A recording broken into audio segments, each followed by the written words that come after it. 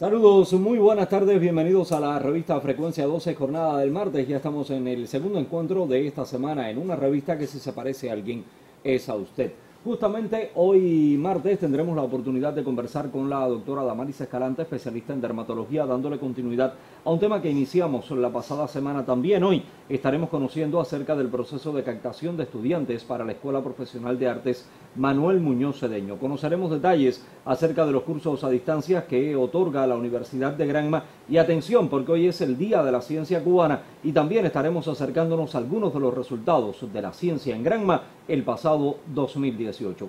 Son algunas de las temáticas para abordar en este mediodía del martes. Usted siga junto a nosotros.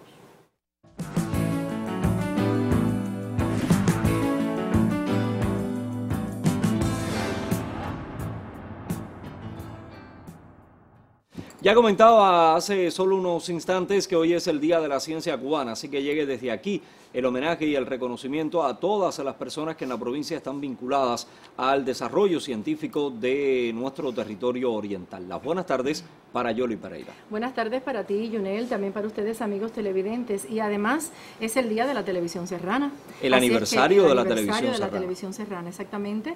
Y por supuesto queremos que llegue la felicitación y el reconocimiento a todos ellos por siempre reflejar a través de esas realizaciones artísticas por el, vivir cotidiano del campesino. Yo creo que eso es importante. Así es que desde aquí el saludo para ustedes. Como no, el reconocimiento para la televisión serrana que está celebrando hoy su aniversario número 26. Te hablaba del Día de la Ciencia Yoli que es hoy y en horas de la mañana en el Parque Museo Ñico López tuvo lugar el acto por el Día de la Ciencia Cubana, donde fueron reconocidos un grupo de investigadores, científicos del territorio, así como también eh, profesores de la Universidad de Granma, así como de Ciencias Médicas y del Polo Científico, que alcanzaron grados científicos importantes durante el año 2018. Al mismo tiempo, a nombre del Comité Provincial del Partido y el Consejo de la Administración, se le hizo entrega al Ministerio de Ciencia, Tecnología y Medio Ambiente, a la Delegación Territorial de Granma, de un reconocimiento por celebrarse hoy tan significativa fecha. ¿Usted lista con las secciones? Estoy lista exactamente con los adelantos de nuestra programación,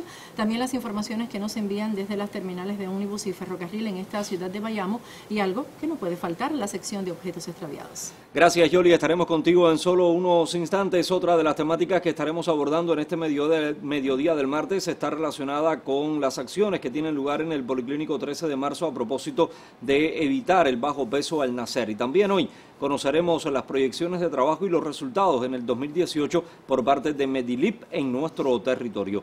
Como ve, tenemos la agenda bien cargada y nos gusta que el mediodía se torne de esa manera porque tenemos mayor información y mayor vínculo con nuestros televidentes. Una pausa y de regreso, Jolly Pereira.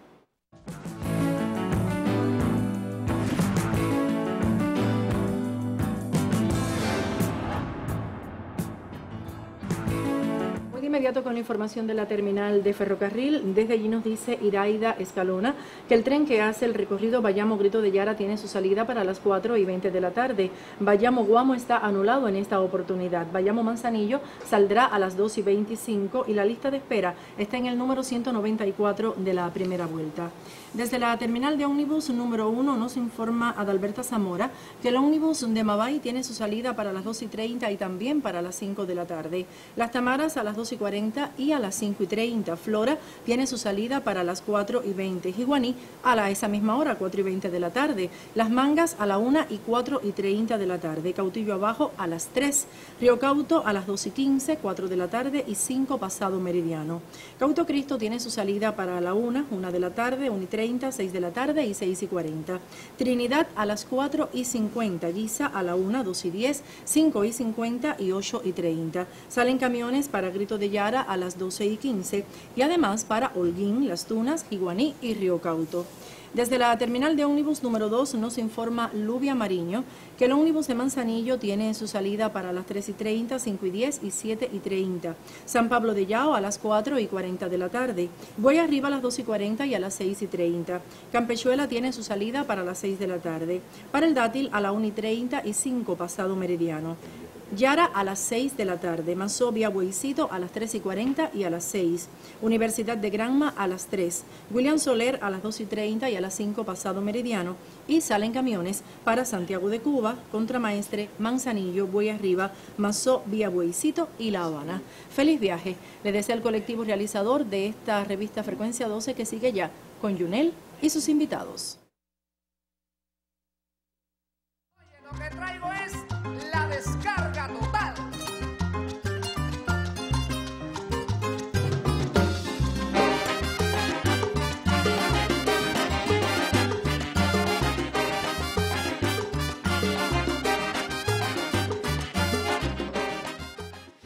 Y nuestros primeros invitados en este mediodía del martes se trata del doctor Julio González, especialista del Hospital Provincial Carlos Manuel de Céspedes, y Eduardo Tamayo, director del Instituto de Investigaciones Agropecuarias Jorge Dimitrov, a propósito de ser hoy el Día de la Ciencia Cubana. Buenas tardes y la felicitación, tanto para Julio como para Eduardo. Julio, el pasado fin de semana, el sábado, tuvo lugar la entrega de los premios provinciales que otorga el Ministerio de Ciencia, Tecnología y Medio Ambiente a las instituciones y también a los investigadores por los resultados de trabajo durante el 2018. Usted recibió el premio Sigma 2018 a partir de los resultados de sus investigaciones. ¿Pudiera acercarnos a estos estudios que ha estado realizando durante el año 2018? Sí, buenas tardes, Junel y los televidentes. Nosotros recibimos el premio por una investigación que tuvo impacto científico, que fue el primer reporte de morbilidad materna grave en la provincia de Granma, en los cuidados intensivos una investigación que abarcó ocho años de trabajo en nuestra unidad, donde se demostraron todo el comportamiento de la morbilidad materna grave, que es el preludio de la morbilidad materna, con todos los indicadores metodológicos de la Organización Mundial de la Salud, una investigación que aporta esa caracterización que sirve de base para desarrollar otras investigaciones y que a su vez sirve de base para tomar decisiones por parte de eh, las estructuras administrativas en este indicador tan importante que es el de la mortalidad materna. La otra investigación abordó la problemática de las infecciones que se adquieren en los cuidados intensivos. Esta se premió por su impacto social. Es una investigación que es parte de un estudio multicéntrico ¿sí? que se realiza en varias terapias de Cuba y del cual formamos parte y somos pioneros desde hace ocho años. Esta investigación eh, tuvo la, la característica de introducir un grupo de medidas, medidas preventivas para prevenir las infecciones y tuvo un impacto logrando indicadores positivos al reducir las infecciones principales que se ven en nuestra unidad, como son las infecciones eh, adquiridas por la ventilación mecánica y otros tipos de infecciones. Esos fueron los resultados principales. Importantes resultados que tienen que ver con la labor científica desde una institución de salud como es el Hospital Provincial Carlos Manuel de Céspedes, pero también otro, otra investigación en la que se incide de manera directa en otros hospitales de la nación. Esto habla también de cómo el desarrollo científico de nuestros especialistas va incidiendo no solo en los resultados de Granma, sino también a nivel de país. Por supuesto, es un trabajo que incluye a todo un equipo de trabajo, Julio. Sí, este trabajo, sobre todo el de la infección, eh, forma parte del, ejercicio de un, equipo multidisciplinario donde enfermería jugó un papel decisivo, porque la aplicación de todas estas medidas se hace por el personal de enfermería de la unidad, eh, que fue previamente entrenado con todos los protocolos de actuación y es una, un protocolo de medidas que está implementado desde hace muchos años en la unidad, como te decía, eh, el personal de enfermería juega un papel muy importante porque son medidas preventivas que son manejadas por los enfermeros fundamentalmente y también por el resto del personal médico propio de la unidad y por el personal interconsultante de los pacientes de nuestra unidad. Bien, gracias doctor Eduardo. Hoy en la mañana en el acto por el, por el Día de la Ciencia Cubana fueron reconocidas los municipios, también un grupo de instituciones y entre ellas se destacó el Instituto de Investigaciones Agropecuarias Jorge Dimitrov. Durante el 2018 ustedes jugaron un papel importante dentro del Polo Científico Gran Mex.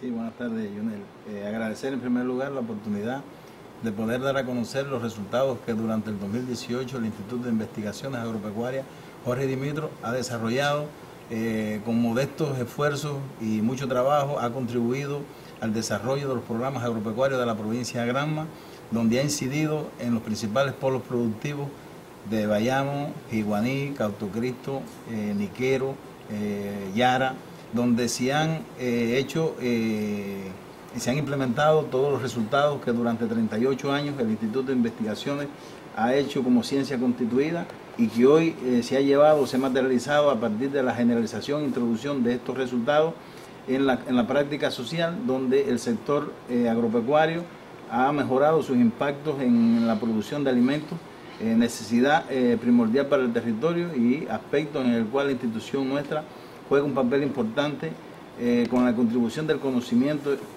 ya en, en este sector a partir de elevar o incrementar los rendimientos productivos que dan determinada satisfacción a los niveles de alimenticio de la población y sobre todo también a la producción de alimentos animal como elemento importante también para mejorar y fortalecer.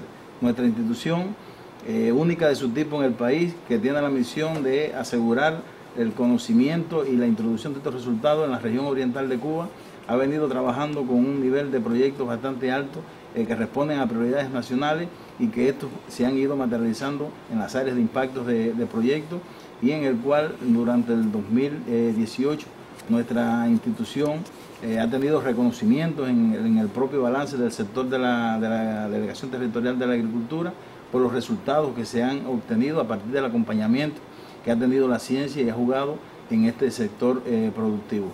Nosotros, bueno, tenemos un gran reto por delante todavía porque las potencialidades que tiene la provincia son muy superiores a las que hoy hemos tenido y yo creo que con la integración que se está desarrollando entre todas las unidades de ciencia de la provincia podemos dar un salto eh, muy significativo que nos propicie un mayor desarrollo en el sector agropecuario en la provincia y que esto también eh, contribuiría también al propio desarrollo de la, de la provincia. En el desarrollo económico de la provincia, el Instituto de Investigaciones Agropecuarias Jorge Dimitro juega un papel importante a partir de la implementación de los resultados científicos que tienen lugar en este centro. Felicitaciones, Eduardo, felicitaciones también para Julio, de manera especial a nombre del doctor Jorge Omar, de Gloria, Evelyn y de Julita, que nos llamaron para que felicitáramos al doctor Julio.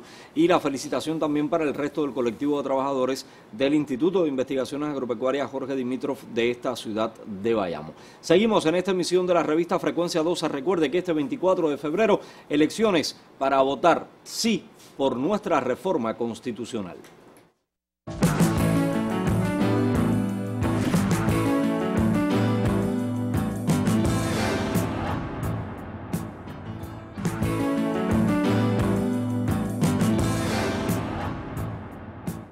Adelantos de nuestra programación. Comenzamos a las 5 con memorias con las principales efemérides. Sigue nuestra programación a las 5 y 4 con La Ventana, programa vivo y en vivo, que tiene como invitado al doctor Arnaldo Cedeño Núñez.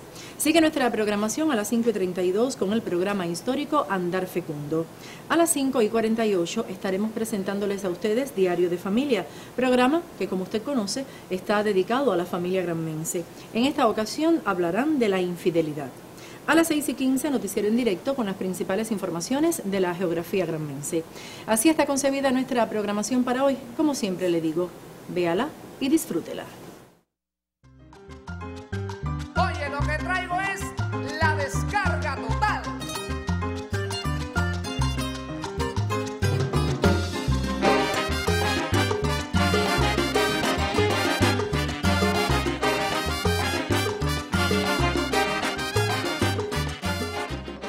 Y en esta jornada del martes en la revista Frecuencia 12 les recuerdo que mañana miércoles estaremos transmitiendo a las 12 del mediodía el programa Perspectivas, un espacio de opinión de acercamiento entre las máximas autoridades políticas y gubernamentales del territorio con la población abordando temáticas de sumo interés. Mañana, como había anunciado el primer secretario del partido en la provincia, el compañero Federico Hernández Hernández, estará dándole seguimiento a las medidas que se implementan en el territorio con el objetivo de incrementar las ofertas para la población.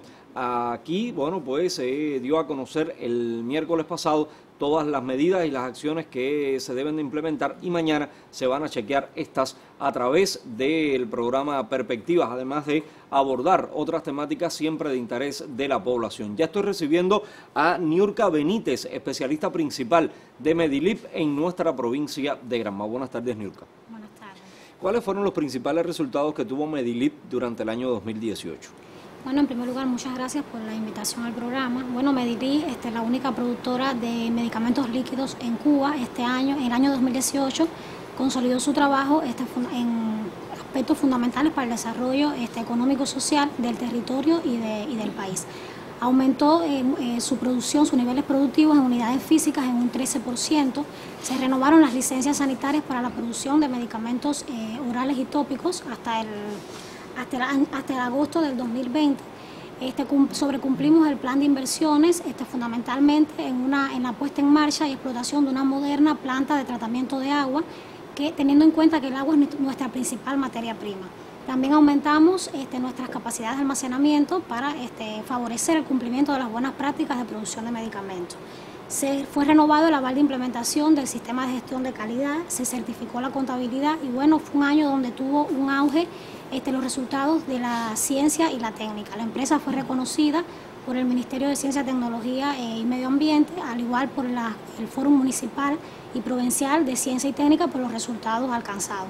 Se participó en importantes eventos nacionales e internacionales relacionados con la ciencia y la técnica y bueno, como colofón fue introducido un nuevo producto, un expectorante mucolítico que fue el ambrosol jarabe y una reformulación que fue la solución antiséptica, que son dos productos muy conocidos por la población y con un alto, un alto impacto en la salud de, nuestro pueblo. No es casual que hoy Día de la Ciencia también tengamos la oportunidad de conversar con una representación de los trabajadores de Medilip, entidad destacada en nuestra provincia y que incide también a nivel nacional con la presencia de estos productos en la red de farmacias de nuestro país. Para este año, ¿cuáles son las proyecciones?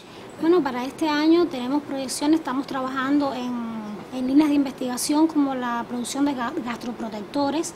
Tenemos una estrategia este, como parte ¿no? de la, del desarrollo de la empresa de insertarnos en la producción de productos naturales, este, dirigidos fundamentalmente este, a, anticatarrales, este, para eh, el estómago, también para la litiasis renal. Y bueno, este, también eh, como parte de la, de, hablabas del Día de la Ciencia, nuestra empresa también obtuvo este, dos resultados que fueron premiados en, el, día 12 de enero, que fueron dos reformulaciones realizadas, la reformulación del jarabe de difenidramina y jarabe de piperacina. O sea que la dirección de la empresa le da una importancia muy alta a la aplicación de la, de la ciencia y la técnica para la obtención de estos resultados. Qué bueno, gracias a Niurka Benítez, especialista de Medilip en nuestra provincia de Gran.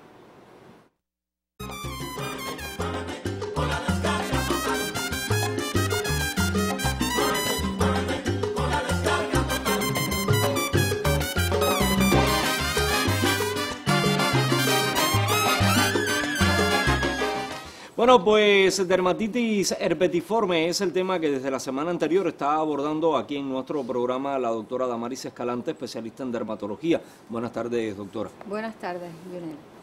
Sí, la dermatitis herpetiforme es una de las enfermedades autoinmunes ampollares que tiene una característica principal, es crónica, es recidivante, es decir, que tiene crisis frecuente e intensamente pruriginosa, es decir, picazón en la piel y se va a caracterizar por unas lesiones polimorfas. ¿Qué quiere decir polimorfa? Que son de diferentes formas. Pueden presentarse como en formas de vesículo ampollares, pueden presentarse de forma urticariforme, las ronchas que aparecen cuando dan picazón, y también otra de las formas más frecuentes son las pápulas eritematosas que hacen costras. Eh, es una enfermedad frecuente relativamente, desde el 1 al 3% de la población puede estar afectada con esta enfermedad afecta desde la infancia, pero fundamentalmente en la segunda, tercera y cuarta década de la vida, más frecuente en los hombres que en las mujeres y también se puede ver en algunos ancianos. Es una enfermedad que tiene relación con una enteropatía asociada a la sensibilidad al gluten. El gluten es una proteína que está presente en el trigo, en la cebada y en el centeno. Aquí nosotros le llamamos esta enfermedad la enfermedad celíaca de la piel. ¿Por qué? Porque da lesiones a nivel de la piel que tienen que ver con esta proteína, pero es asintomática. Eh, las manifestaciones fundamentales, bueno, aparece primeramente una pápula o, granito rojo y puede aparecer también en forma de vesícula ampolla o en forma de costra. Generalmente tiene una disposición en ramillete, es decir, similar al herpes, por eso de ahí el nombre de herpetiforme, y a veces pueden aparecer lesiones aisladas tiene la característica de que como síntoma fundamental es la picazón intensa, a veces es tan picante que puede dar dolor, sensación de quemazón o ardor. Y en los periodos de paroxismo puede haber febrícula, falta de apetito y dolor de cabeza. ¿Este periodo cuál es? este es el periodo intenso. Cuando las lesiones están más intensamente, a veces en la forma inicial de aparición puede aparecer así. Bien, ¿algo más acerca de estas lesiones, doctora? Esta lesión, esta enfermedad es de estricto tratamiento por dermatología, porque el tratamiento que se usa a veces es de uso hospitalario, aunque a veces se hace una extensión a nivel de atención primaria de salud, pero lleva un control y un seguimiento adecuado por el dermatólogo. Bien, gracias, doctora. ¿El tema de la próxima semana?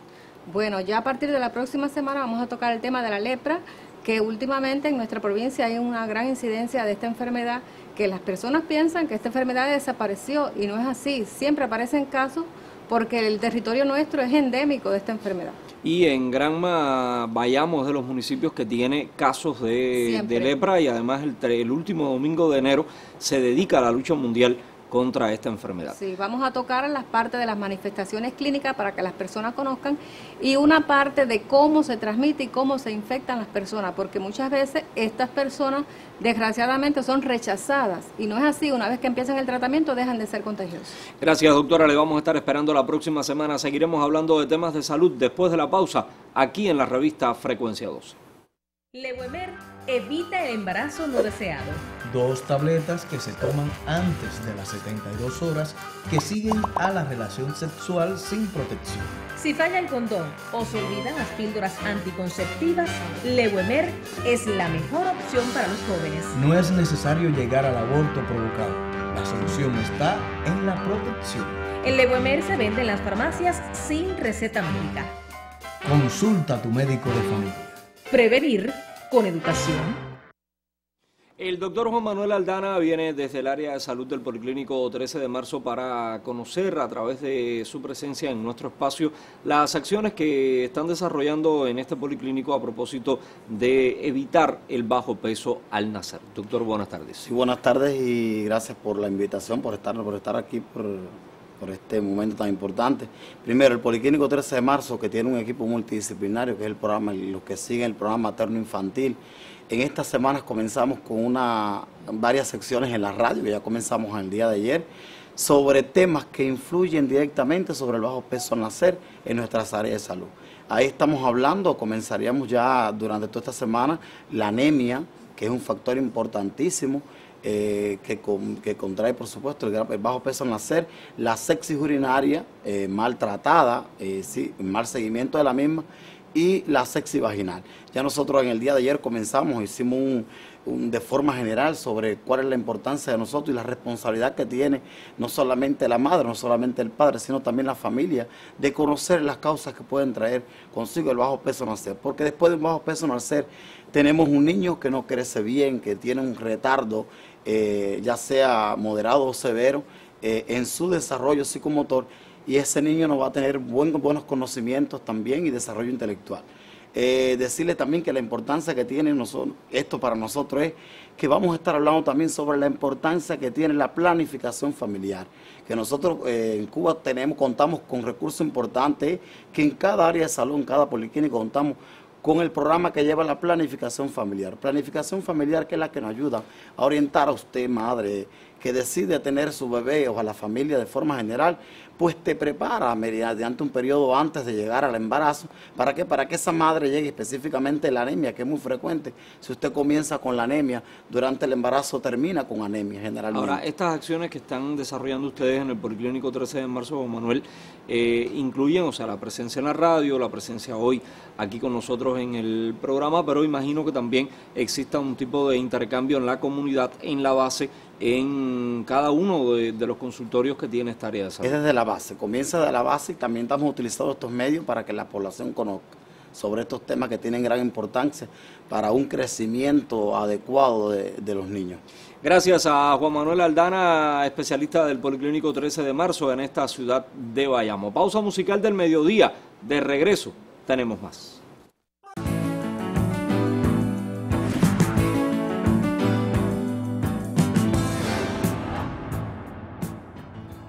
Ya estamos en esta sección de objetos extraviados. Vamos a ver lo que tenemos hoy en nuestro poder.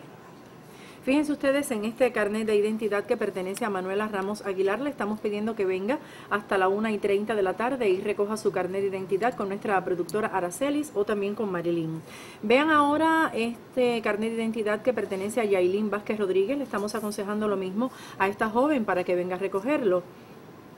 Seguimos ahora con este carnet de identidad que pertenece a Doris Álvarez López. Les comento que Doris vive en Barrio Azul, en esta ciudad de Bayamo. Doris, ojalá ahora mismo estés viendo la revista. Este es el carnet de identidad de Mario Alejandro Villavicencio Fajardo. También le pedimos lo mismo para que venga a recogerlo. Seguimos ahora con este otro carnet que pertenece a Julio César Carbonel Fonseca. Se le perdió hace unos días y hoy le estamos dando la buena noticia de que ya apareció. Continuamos ahora con esta tarjeta de menor que pertenece a Brian Daniel Leiva Arzuaga. Así es que mami o papi, si están viendo la revista, vengan a recoger esta tarjeta de menor a nuestro telecentro. Seguimos ahora con estas llaves, una grande, una pequeña, no sabemos a quién pertenecen, pero bueno, si son suyas, le pedimos que venga a recogerlas lo más pronto posible. Le estamos dando la buena noticia de que aquí están bien guardadas, como también le digo lo mismo al dueño o la dueña de estas llaves que veían en pantalla. Ardri Cedeño Rodríguez nos dice que se le extravió una billetera con tarjetas de crédito, carnet y otros documentos en el tramo del principio de José Antonio Echeverría hasta la calle 46. Le ruega a la persona que lo haya encontrado le llame al 44 57 59. Escuchen ustedes esta nota. Por favor, solicitamos por este medio nos ayuden a encontrar un perrito pequinés de color beige, tiene su carita negra, tiene 14 años aproximadamente, problemas al caminar y responde al nombre de Chiqui. Se extravió el día 10 del edificio 29A por la cremería del edificio de 18 plantas. El sábado 12 le informaron a ellos que lo vieron frente a viviendas campesinas, cerca de la delegación del Minin. Si alguien lo encontró, por favor, que llame a Magalis al número telefónico 48 29 89 o a Marilis al 48 26 28. Así finaliza esta sección de objetos extraviados y yo me despido hasta el jueves a la misma hora de siempre, 12 en punto, pero usted no se vaya, siga con Yonel.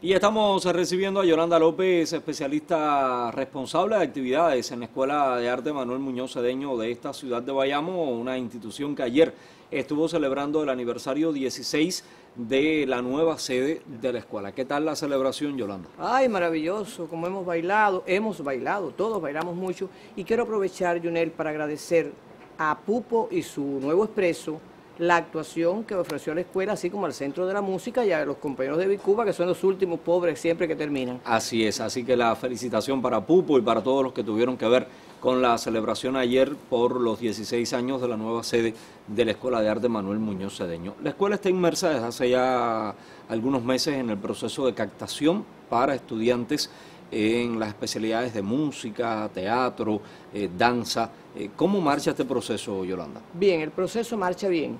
Lo que este proceso es un proceso continuo. Es un proceso complejo porque se hace no solamente en Bayamo, sino en los municipios. Nosotros queremos concentrarnos hoy en música.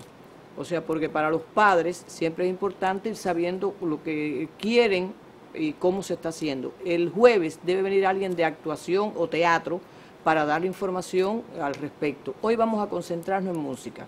Se están haciendo el proceso de captación, que como repito, un proceso continuo, y es importante que los padres los niños de segundo y cuarto grado estén atentos, porque pueden llevar sus niños a la escuela, ahí se le hacen una prueba que es muy sencilla, no se asusten porque a un niño le van a hacer prueba y dicen, ay, a mi hijo le van a hacer una prueba, no está preparado. No, todos los cubanos estamos preparados para esa prueba de música. Entonces se hace la prueba de captación, pueden ir de martes a martes a viernes, pueden ir a cualquier, eh, fundamentalmente a la sesión de la mañana, ahí en la escuela van a ser atendidos para las captaciones, segundo y cuarto grado. Segundo y cuarto grado, captaciones de música.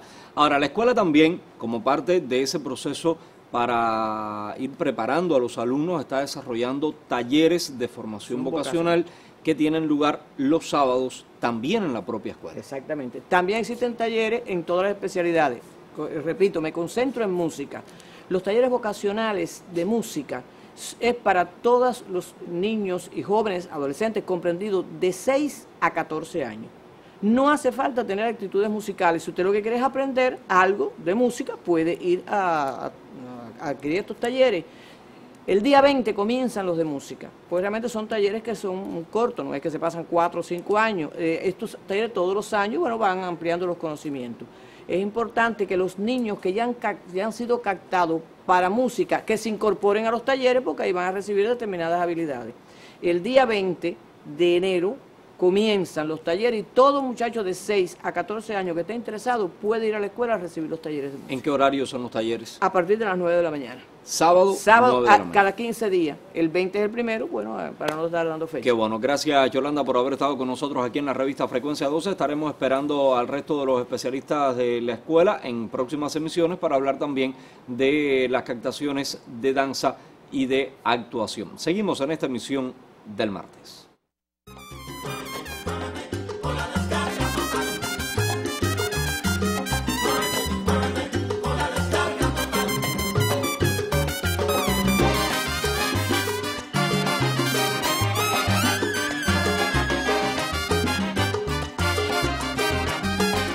Nuestro siguiente invitado es Wilfredo Castro, secretario de la Universidad de Granma. Bienvenido una vez más aquí a nuestra revista Frecuencia 12.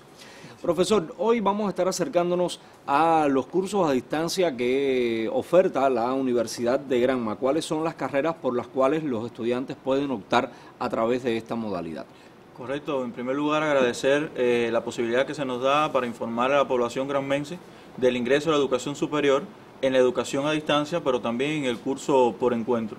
Eh, hoy la Universidad de Granma está dentro de su plan de plaza, eh, concibe un grupo de carreras en, toda, en estas dos modalidades, carreras de las ciencias pedagógicas, de las ciencias técnicas, de las ciencias sociales y humanísticas, de eh, las ciencias agropecuarias y también eh, la cultura física en cada una de las sedes y los municipios de nuestra, de nuestra provincia. Ahora, ¿cuáles son los requisitos para poder optar por alguna de estas carreras?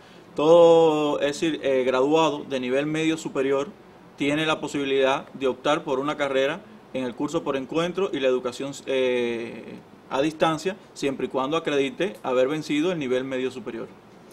digamos, la convocatoria para el ingreso, para poder optar por alguna de estas carreras en toda la provincia, ¿cuál sería? La convocatoria está publicada desde el día 8 y hasta el día primero en todas nuestras eh, secretarías docentes, dígase facultades y centros universitarios municipales, y en ella se recoge que todo el que esté interesado puede optar por una sola carrera. Eh, la manera de otorgar es a través de un escalafón que se hace por el índice académico del nivel precedente y siempre se va a priorizar en el caso de la carrera de cultura física a las, es decir, a las demandas que haga el INDER, la Dirección Provincial de Deporte, en el caso de las carreras pedagógicas a la demanda que haga la Dirección Provincial de, de Educación y finalmente en las carreras agropecuarias a eh, las solicitudes que haga la Delegación Provincial de la Agricultura. Para responder a la convocatoria, ¿cuáles son los documentos que deben presentar los aspirantes? Correcto, se debe presentar en primer lugar el carnet de identidad actualizado, una foto tipo carnet, la certificación de estudio terminado validada por el Departamento de Títulos y Diplomas de Educación Provincial y en el caso de que el estudiante eh, constituya una de esas prioridades que estos organismos han demandado, deben eh, entregar también en la Secretaría Docente el aval de dicho organismo que eh, plantea la, la prioridad mencionada. Usted hablaba de la Secretaría Docente. ¿A dónde dirigirse precisamente para optar por estas carreras? Correcto. Eh, el estudiante debe fijarse en, la en el plan de plaza que está publicado, donde se estudia la carrera, en qué sede de la universidad, y es precisamente en esa sede donde desee estudiar, donde debe formular la solicitud de la eh, carrera elegida. Para mayor información de los aspirantes, eh, sabemos que hay muchas personas a esta hora al tanto de una temática tan importante como esta, digamos algunas de las sedes que existen en el territorio a donde las personas puedan dirigirse. Correcto, la sede central, donde se estudian las carreras fundamentalmente de perfil técnico y agropecuario, que es eh, la sede de Peralejo. Tenemos dos sedes en Bayamo, la Facultad de Cultura Física, que está a la salida de Holguín, donde se estudia esta carrera, y la Facultad de Ciencias Económicas y Sociales, que se estudia en prolongación de General García en Bayamo, y bueno, en Manzanillo, en la sede de Blas Roca, donde se estudian fundamentalmente todas las carreras de perfil pedagógico. Y bueno, en todos los municipios está abierto también posibilidades de, carreras que se puede acceder a través de, de las secretarías docentes en los centros universitarios municipales. Muchísimas gracias, Wilfredo, por haber estado con nosotros aquí en la revista Frecuencia 12 abordando una temática tan importante como la oferta de carreras en el curso por encuentro o a distancia que oferta la Universidad de Granma.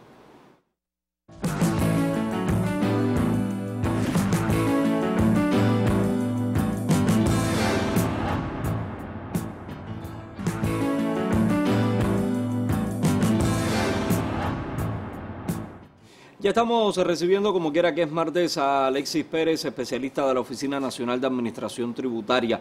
Ha pasado solo una semana, Alexis, de que iniciamos en todo el país el proceso de declaración jurada. Y digo iniciemos porque los artistas formamos parte también de este grupo de personas que desarrollamos la, la declaración jurada. O sea que estamos obligados a, A presentar la declaración la declaración jurada. ¿Cómo marcha esta primera semana en la provincia? Sí, buenas tardes, Junel, a usted, a los amigos televidentes que están ahora en el programa Frecuencia 12. Decir como bien decías, el pasado eh, 8 de enero, martes, comenzó en todo el país la campaña de declaración jurada del impuesto sobre eh, ingresos personales.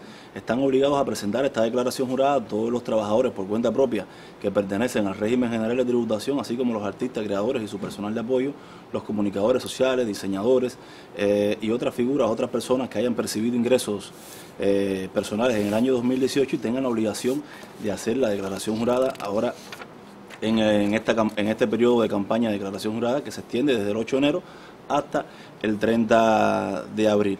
Eh, la Oficina Nacional de Administración Tributaria en estos momentos se encuentra eh, enfrentando varios procesos eh, inherentes a nuestra oficina, como es el propio proceso de la campaña de declaración jurada del impuesto sobre ingresos personales.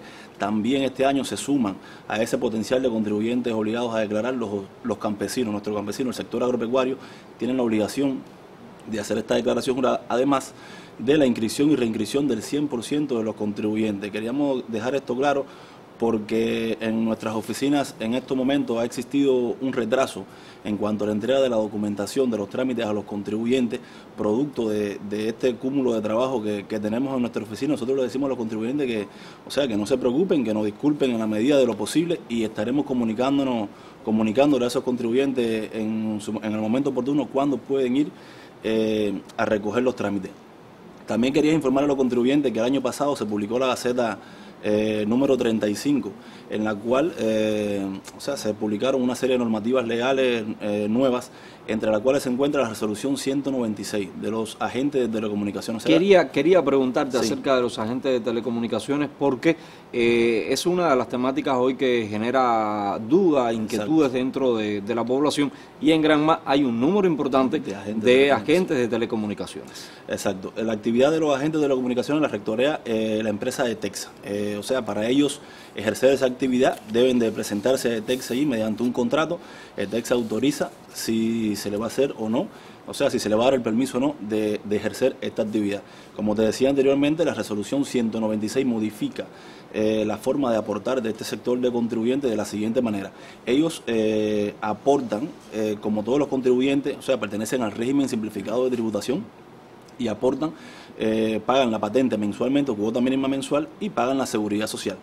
Estos contribuyentes aportan de patente 20 pesos mensualmente, siempre que los ingresos sean por debajo de los 2.500 pesos. O sea, en el mes que usted tenga ingresos por debajo de los 2.500 pesos, usted aporta como patente o cuota mínima mensual 20 pesos, pudiendo ser incrementada esta, esta patente hasta 75 pesos por el Consejo de la Administración, siempre que sus ingresos sean inferiores a los 2.500 pesos.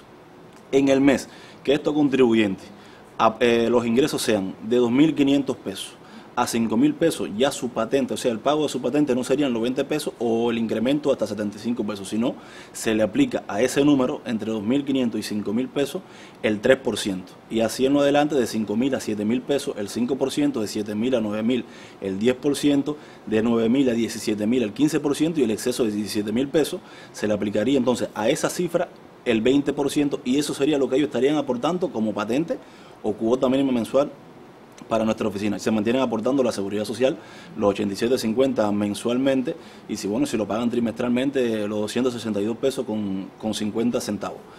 Eso es lo que queríamos decir. Esa es la, la aclaración para los agentes de telecomunicaciones. Exacto. Eh, el paquete fiscal, la documentación de estas personas, eh, la nuestro agente postal es correo. Correo, nosotros le entregamos los paquetes fiscales y están en la obligación de repartir estos paquetes fiscales. En estos momentos nos encontramos en este proceso. Muchos contribuyentes llegan a nuestra oficina solicitando eh, el paquete fiscal y nosotros decimos que esperen hasta finales de enero para que le llegue el paquete fiscal por correo y así puedan hacer la declaración jurada. Si no le llegan a finales del mes de enero, principio de febrero, porque vence el plazo para presentar, o sea, el primer pago es el 20 de febrero, si no le llega, entonces pueden acudir a nuestras oficinas para así nosotros hacer la entrega de su documentación. Bien, gracias Alexis. Alexis Pérez, especialista de la Oficina Nacional de Administración Tributaria. Los últimos minutos de la revista Frecuencia 12 lo dejamos a buen tiempo.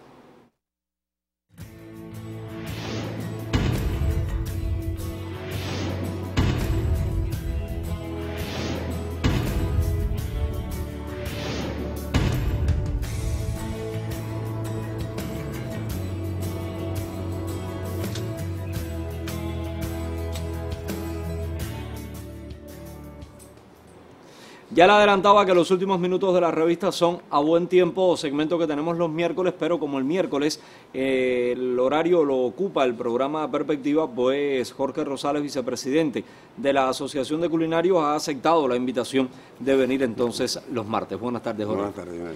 Bueno, hoy vamos a estar conociendo detalles de platos elaborados a base de yuca, teniendo en cuenta que también la Asociación de Culinarios se ha insertado dentro de las acciones que tienen lugar en el territorio con el objetivo de ampliar las ofertas para la población. Sí, efectivamente, esta tarde con- continuamos la línea que ya habíamos comenzado en encuentros anteriores y hemos traído tres nuevas propu- propuestas para la familia, algunas más conocidas y otras menos conocidas. En este caso hemos traído la famosa popular yuca con mojo, que es imprescindible para toda celebración nuestra, que se hace fácil en casa y que tiene la particularidad de cada quien agrega la, en la forma de hacer el mojo lo que desea. También eh, hemos traído eh, un plato de la cocina latinoamericana que es el sonso de yuca. Sonso de Sonso yuca. de yuca, que se hace incorporándole queso y mantequilla a la masa y después se puede poner al horno o en este caso también se puede freír como la bola de yuca normal, pero con el cambio de relleno en este caso, o hacerla como lo hicimos nosotros sencillamente poniéndole queso, eh, o sea, cambiando el relleno. Esta que estamos mirando en, en cámara ahora es el sonso. No, esa es la bola de fuego. Ah, bola de fuego. Bola Esta es la bola de fuego, fuego. sí. ajá. Esta bola de fuego, ¿cómo se hace? Esta bola de fuego la hicimos eh, incorporándole al- a la yuca ya blanda, o sea, al puré de yuca, le incorporamos un fondo de, en este caso, eh, de pescado, y que es lo que, que es lo que caracteriza esta- este, este, este plato, y además ya conocido, pero bueno, antes lo hacíamos con harina, lo hicimos humedeciendo ese, ese puré de yuca con un caldo de pescado y le incorporamos entonces un sofrito y le pusimos un toque de picante, que se puede poner más o menos en casa según sea el gusto de cada quien, gusto, y sí. que se hace muy recomendable para los momentos de fiesta, intercambio, algo de picar y que queda bien para esos momentos. Ya, esta sí es la bola de yuca Esa es el tradicional. sonso, ese es el sonso de yuca. Ah, el sonso de yuca. Que tiene como diferencia que se hace con el queso y la mantequilla incorporado. Ah. Ya no hay que esperanzar la carne para el relleno, no, ahora es queso, incluso este es fundido. Queso y mantequilla. Queso y mantequilla. O sencillamente un poco de leche que se puede para, para Eh, es, es para hacer más, Este, más suave la este masa. viene de la, de la cocina de la, latinoamericana. de la cocina latinoamericana. Igual que estos platos, pues eh, reiterar a la población que tenemos un recetario ya elaborado que vamos a poner ya en función de la población que lo quiera adquirir el día 26 de enero. El 26 de enero estamos convocando a la población de Bayamo, a todos los organismos, entidades de la gastronomía otras dependencias, para que participen con nosotros en una- un gran festival que hay en saludo al 38 cumpleaños de la Federación Culinaria de Cuba. Qué bueno. Y bueno, el plato que veíamos ahora, ese sí no tiene, no hay quien se equivoque, eso es yuca con. Yuca con. Qué bueno. Así que el 26, ¿dónde? de enero en la sede nuestra en Saco 129 vamos a estar celebrando el aniversario 38 de la fundación de la Federación Culinaria de Cuba. Y entonces hemos convocado a todos los organismos, personas, cualquier persona que se quiera llegar hasta allá con su plato elaborado a base de yuca, que puede ser una comida o una bebida, porque ya sabemos que hay por ahí algunas cosas con yuca Sí, que sí, se hacen también. bebibles. Bueno, gracias Jorge por haber estado con nosotros aquí en la revista Frecuencia 12. Cumplimos el tiempo asignado para este martes. Nosotros con la revista Frecuencia 12 volveremos el jueves. Recuerde que mañana a las 12 estará saliendo al aire el programa Perspectivas. Volveremos el jueves en una revista que si se parece a alguien, es a usted.